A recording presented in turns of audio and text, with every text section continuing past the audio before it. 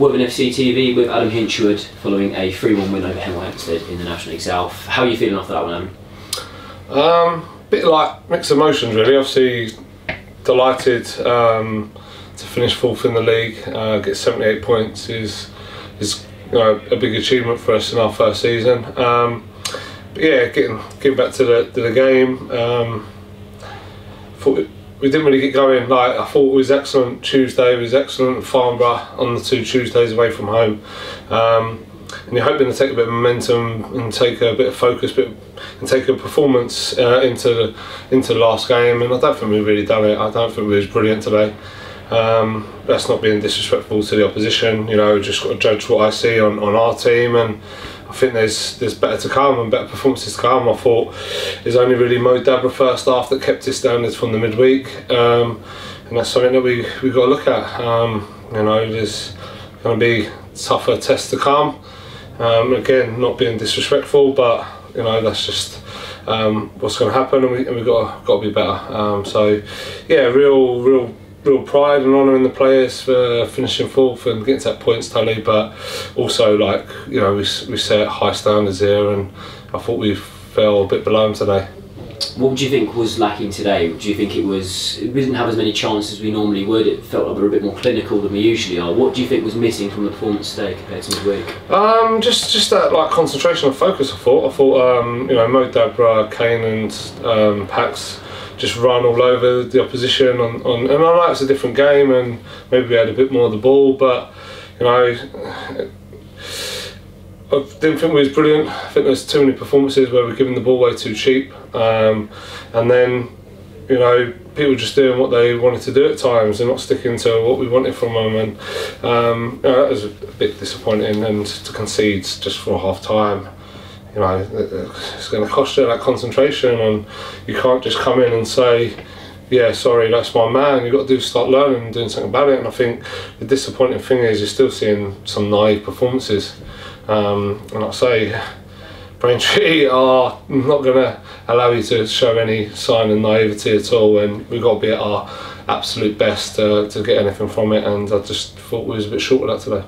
Was there anything that you look at from the game that was a positive? Was there anything you're particularly happy with from today? No, obviously scoring three goals. Um, you know, at this level, is tough to do. So anytime you can do that, it's good. Um, I thought we got into some good areas. I thought David got in behind with a great ball from Harrison.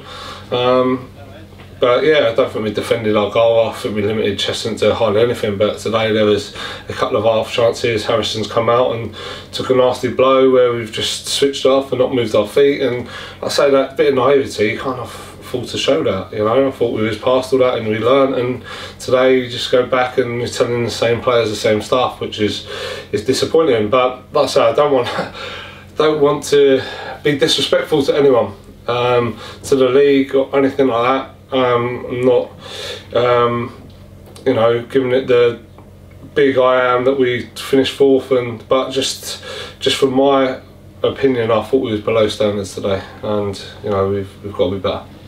Let's have a look at the overall day today. Though it's an unbelievable achievement, fourth in the league. I know how high your standards are, yeah, but fourth in the league in the first season, as you said, it's an incredible achievement. How are you feeling going into Wednesday? It's a huge game for the club, really, and to have a home tie for it as well, with the crowd how it was today as well. I mean, to carry that over into Wednesday could be huge. No, yes, um, pleased this Wednesday gives us a bit of an extra day to recover, um, which is important for us. Um, and yeah, we get to prepare with a, a session Tuesday.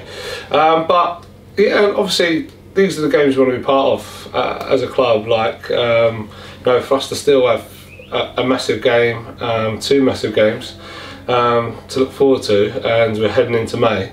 Is, is is brilliant, and you know all the hard work that everyone's put in, um, not just myself, not just the players, everyone at the club behind the scenes to to get the club to where it is. Um, you know, we've really got to relish it, and um, it is, is a privilege to have that kind of pressure and to play in these big games.